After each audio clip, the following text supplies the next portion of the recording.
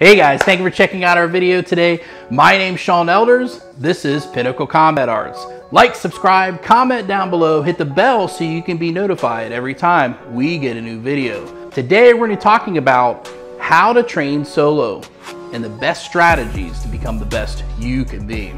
Let's get started.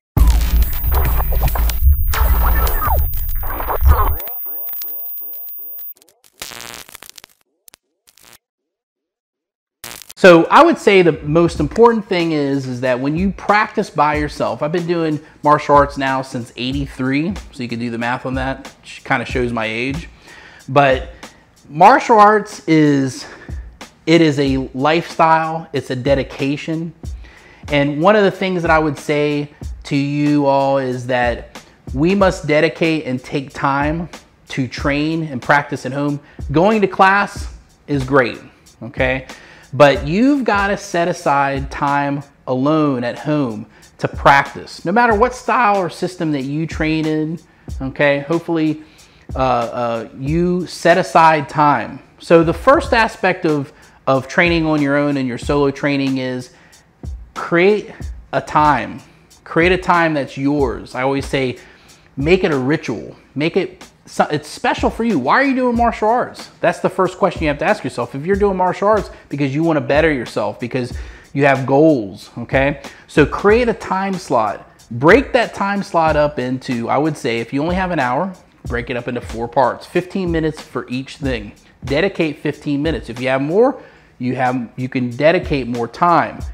Now, when we talk about time slots, it's important that, for instance, if you uh, uh, are a, for instance, a boxer, you would dedicate 15 minutes to footwork, 15 minutes to one tool, a jab or a cross or whatever the tool is. It could be a, a defensive tool like a slip, duck, bob, a weave, whatever that is, or footwork, okay? So one would be dedicate yourself to a tool.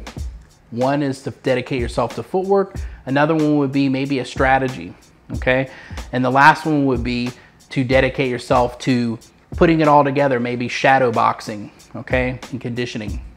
So that's one part of it. Another part is how do you practice by yourself? What are the different tools and mechanisms that you can use to practice by yourself? One of them could be mirror training. Looking in the mirror, looking at your body mechanics, how are you performing each movement? That's a very important part of it. Another one would be bag training. Getting on the bag, learning your targeting systems. Put a piece of tape or something on that bag and be able to hit, use that tool to hit that bag every single time. First in place, stagnant, moving around, and then eventually have a moving target that you can hit and get used to something moving around, which is hard, which can become more hard and more complicated as you go. So targeting systems is another one for bag training. Another aspect is, which is more a futuristic type of thing, um, if depending on how educated you are in, into this, you could use audio. So you make a sound, record yourself on your phone doing an audio movement. So you might go say go and you try to, as soon as you hear it, you try to respond to it. Whatever exercise it could be. It could be footwork with, with a strike or whatever it is you can use audio to get a response. In other words, you're learning how to use your hearing to develop fast twitch muscles, to develop, maybe it's for footwork, you say forward, back, right, left, and you're using your footwork to do that. If it's a guard, maybe you're working on grappling and you have a grappling dummy and you have three different things you want to work on from the guard position. How do I do that? You call it out and you just go and you do it. Whatever it is, but you're using auditorial. The other one would be to record yourself with your phone. Record yourself with your phone, for instance, if you're throwing a jab or a cross and you're learning how to, to evade that attack and come back with a combination. Using a video and putting that video on your TV and the, the, the, the attack is random and you just practice responding to your own attacks when you don't have a partner to work with. And so those are some of the things that you can do along with developing your conditioning. Shadow boxing is a very important one.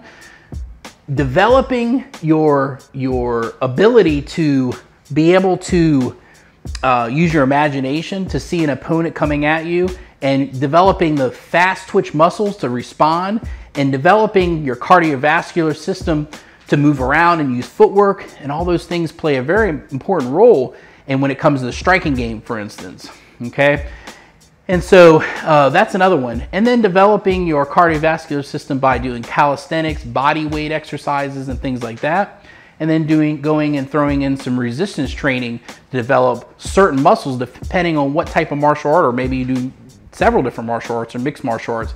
But developing and having resistance type of training to develop those muscles to be able to have the strength, okay, to, to perform those tasks quickly and with agile ability is very important. Uh, sprinting is very important, I would say, to develop your cardiovascular system and be able to be quick, have agile movement, and be able to be explosive with your movements. So these are these are several things that you can do to do your solo training. If you have any questions, comment down below. I hope you guys enjoy this, and I'll see you next time go to our website, pinnaclecombatarts.com. There you can find out more about what I do and the classes that I provide. Thank you guys so much for your support and have a great day.